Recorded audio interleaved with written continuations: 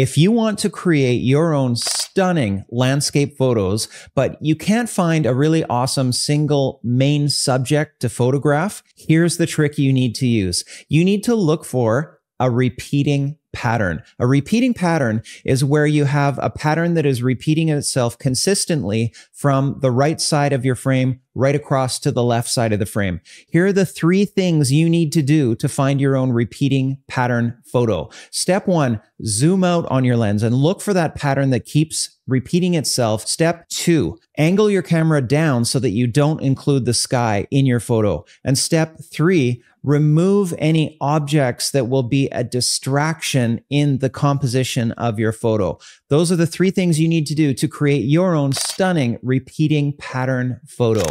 And if you love taking stunning photos, then follow this channel because I have so many more gold nugget knowledge bombs to give you.